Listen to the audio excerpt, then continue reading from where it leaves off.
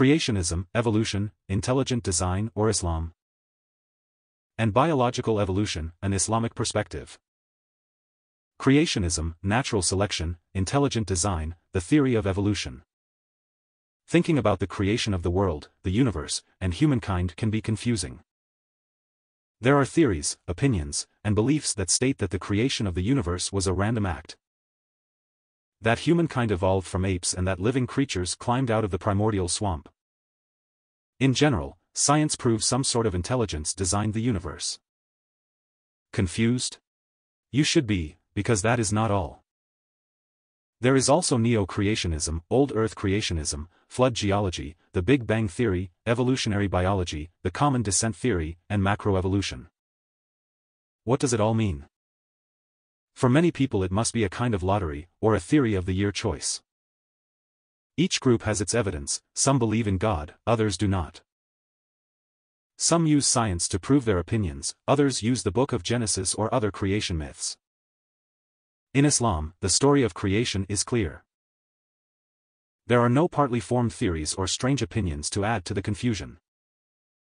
The creation of the world and all that exists is attributed to God. The most merciful, most wise, most forgiving. God created the heavens and the earth, and all that is between them, in six days. Quran 754 then Allah completed the creation of the heavens in two days, Thursday and Friday. With that, the creation of the heavens and the earth was completed in six days. Allah inspired in every heaven whatever he would decree concerning it and whatever obedience and worship he would command. Allah also decorated the nearest heaven with stars, and protected it from the Satan's eavesdropping. All that is the decree of the Almighty who no one can overcome, and who is all aware of his creation. Quran 41 12. I created Adam from dried clay, if it is struck it sounds. This clay that he was created from is black and of an altered scent because of the duration it has been left. Quran 15:26. O Messenger, remember when Allah said to the angels and Iblis, who was with them, I will create a being from dried clay that rings when it is hit, it is black and of an altered scent. Quran 15:28. God created Adam the father of humankind from mud, clay, soil, earth, or dust mixed with water, and he created his wife Eve from a rib bone. The traditions of Prophet Muhammad, may God praise him, relate that God created Eve while Adam was sleeping, from his shortest left rib and that, after some time, she was clothed with flesh. God then endowed Adam and Eve with the ability to procreate. And Allah has created everything that walks on the face of the earth from a drop of sperm water. Some walk crawling on their bellies, i.e. snakes, while some walk on two feet, i.e. humans and birds, while others walk on four legs, i.e. livestock. Allah creates whatever He wishes, including things mentioned and unmentioned. Indeed, He is capable of everything, nothing is outside His ability. Quran 2400 hours 45 O people, be mindful of your Lord, for it is He who created you from a single soul, your father Adam, and from Adam he created his wife Eve, your mother. From the two of them, he spread many people, both male and female, all over the earth. Quran 4 1 And indeed we created man, Adam, out of an extract of clay, water and earth. Thereafter we made him, the offspring of Adam, as a nutfa, mixed drops of the male and female sexual discharge, and lodged it, in a safe lodging, womb of the woman. Then we made the nutfa into a clot, a piece of thick coagulated blood, then we made the clot into a little lump of flesh, then we made out of that little lump of flesh bones. Then we clothed the bones with flesh, and then we brought it forth as another creation. So blessed be God the best of creators. Quran 23:12-14 Verily, I created the father of mankind, Adam, from clay.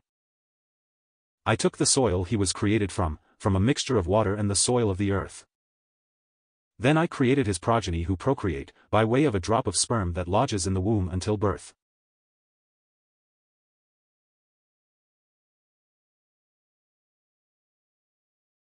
I then created the lodged drop of sperm into a red clot of blood, which I then created into a piece of flesh, which I then created into hard bones.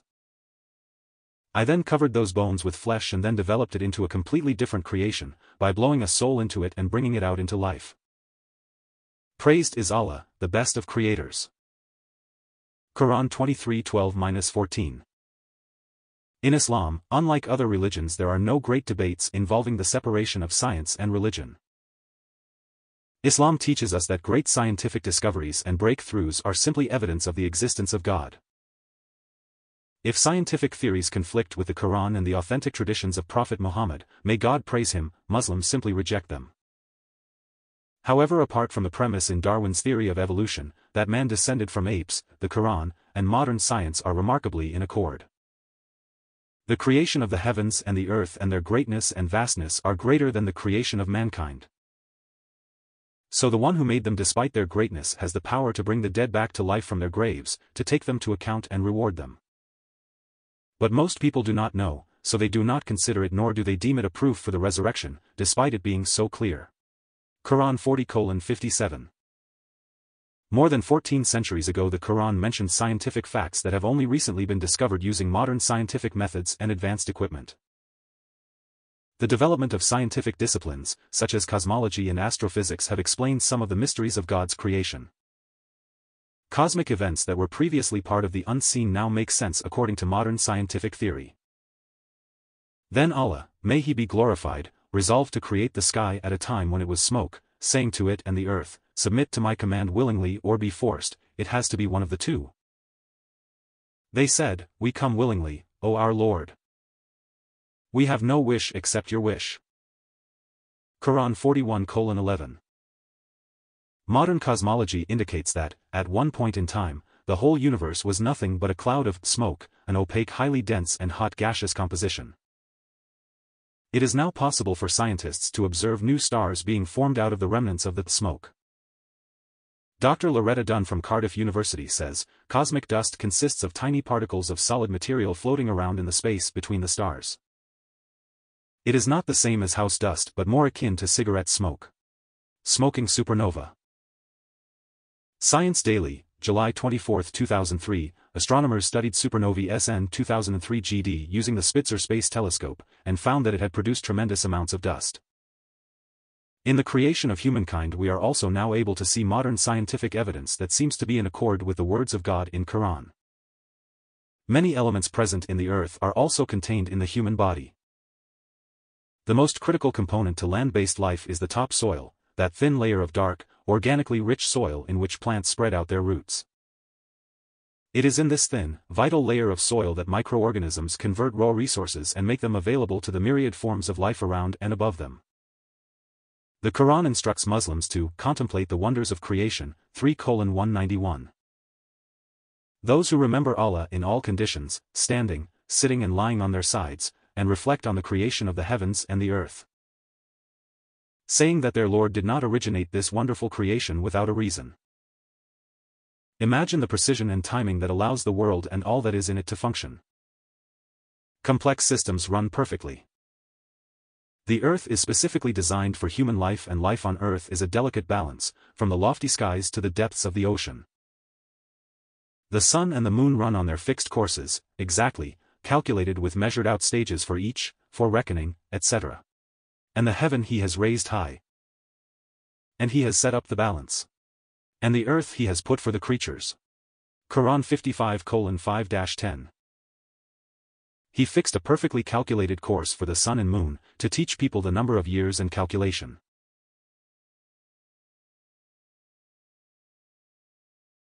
Plants that do not have a stem and trees prostrate to Allah, may He be glorified, in submission and surrender to Him. He raised the sky above the earth as a roof for it. He established justice on earth and instructed his servants with it. He established justice so that you, O people, are not unjust and deceitful in weighing and measurement. Maintain the weighing justly between yourselves and do not give short weight or measure when you measure or weigh for others. He prepared the earth for the creation to settle on it. Quran 55 5-10 God created the universe and he created humankind. Certain sections of all the theories and opinions that are bound agree with the words found in Quran and the authentic traditions of Prophet Muhammad, may God praise him. But really that is of no consequence. Nor is it important when theories try to disprove the existence of God. The sun and the moon are fixed in their orbits and life continues. Muslims know with certainty that the world and all that exists was created by God. When new discoveries prove this beyond doubt, believers smile and wait for the other miracles of God to reveal themselves. The complexity of life is almost as simple to grasp. God is the creator and sustainer of the universe. Biological evolution, an Islamic perspective. Many people wonder about the theory of biological evolution, the theory that living species on Earth today are descended from others in the past. And that the present diversity of living species we see is a result of descent with modification over the course of numerous generations. Muslims also wonder about one of the main processes that evolutionary theory proposes to explain how evolution takes place, the process of natural selection. This is the idea that the individuals within a populations of living organism vary in their individual traits, they are not exactly alike, and that the organisms which are most successful at leaving descendants will pass on their unique traits to the next generation at the expense of the traits possessed by less successful organisms in the population thereby contributing to a long-term gradual change in the suite of traits found within the population. To start with, it is not our intention in this article to discuss the scientific implications of evolutionary theory. We wish to explore the issue from the perspective of Islamic teachings. We must ask. Does the theory of evolution, and likewise the theory of natural selection as a mechanism of evolution, conform to Islamic teachings or conflict with them? Is a Muslim allowed to believe in evolution as a scientific theory as long as he or she accepts that God is behind it? Is a Muslim allowed to believe in human evolution? If not, how can we explain the fossils of upright, bipedal, tool-using apes with large brains that have been discovered? We wish to re-emphasize that our concern here is not with examining the scientific merits of the theory of evolution. What we want to know is what Islamic teachings have to say about the idea. Whether evolution is true or false scientifically is another matter altogether. When we look at the sources of Islam, the Quran and Sunnah, we see that, with respect to human beings living on the earth today, they are all descendants of Adam and Eve. God also says, O people! Indeed, I have created you from one male, your father Adam, and one female, your mother Eve. Therefore, your lineage is the same, so some of you should not take pride in lineage over others. Then, I made you into many nations and dispersed tribes, so that you may recognize one another, not so that you take pride in them, because pride can only be due to Allah consciousness. Indeed, the most noble from among you according to Allah is the one who is most mindful of him. Indeed, Allah is aware of your conditions, knowing of what levels of perfection and deficiency you are on, nothing is hidden from him. Quran 49:13 The Prophet, may the mercy and blessings of God be upon him, identified the male mentioned in this verse as being Adam. He said. Human beings are the children of Adam and Adam was created from earth.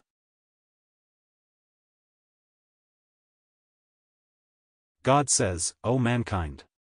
We have created you from a male and a female, and made you into nations and tribes, that you may know one another. Verily, the most honorable of you with God is the one who is the most God-fearing. Al-Tirmidhi we also see that God created Adam directly without the agency of parents. God says, With Allah, the example of the creation of Jesus, peace be upon him, is like the creation of Adam, who was born from dust without a father or mother. Allah simply said to him, Become a man. And he became as Allah willed. How do you then assume that Jesus is a God on the basis that he has no father when you accept that Adam is human despite his having no father or mother? Quran 3.59 We also know that Eve was created from Adam without the agency of parents. In the Quran, God states clearly, O people, be mindful of your Lord, for it is He who created you from a single soul, your father Adam, and from Adam He created his wife Eve, your mother. From the two of them, He spread many people, both male and female, all over the earth. Quran 4 1 Therefore, the Quran tells us that Adam and his wife were the father and mother of all human beings living on the earth today. We know about this by way of direct revelation from God. The direct creation of Adam, peace be upon him, can neither be confirmed nor denied by science in any way. This is because the creation of Adam, peace be upon him, was a unique and singular historical event. It is a matter of the unseen and something that science does not have the power to confirm or deny. As a matter of the unseen, we believe it because God informs us about it. We say the same for the miracles mentioned in the Quran. Miraculous events, by their very nature, do not conform to scientific laws and their occurrence can neither be confirmed nor denied by science. What about other living things, besides the human beings living on the earth today? What about plants, animals, fungi, and the like? When we turn our attention to this question, we find that the Quran and Sunnah do not tell us much about the flora and fauna that was present on the earth before or at the time of Adam and Eve's arrived upon it. The sacred texts also do not tell us how long ago Adam and Eve arrived upon the earth. Therefore, these are things we cannot ascertain from the sacred texts. The only thing that the Quran and Sunnah require us to believe about the living things on earth today is that God created them in whatever manner He decided to create them. God says, Allah is the creator of everything. There is no creator besides Him. He has charge over everything, he plans its affair and disposes of it as he wills.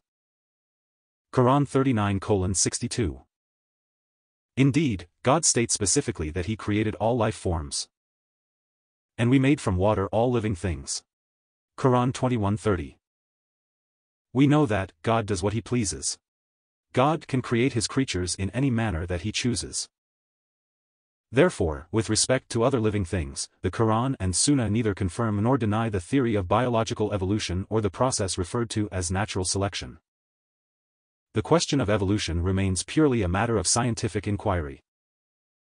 The theory of evolution must stand or fall on its own scientific merits, and that means the physical evidence that either confirms the theory or conflicts with it. The role of science is only to observe and describe the patterns that God places in his creation. If scientific observation shows a pattern in the evolution of species over time that can be described as natural selection, this is not in itself unbelief. It is only unbelief for a person to think that this evolution took place on its own, and not as a creation of God. A Muslim who accepts evolution or natural selection as a valid scientific theory must know that the theory is merely an explanation of one of the many observed patterns in God's creation. As for the fossil remains of bipedal apes and the tools and artifacts associated with those remains, their existence poses no problem for Islamic teachings.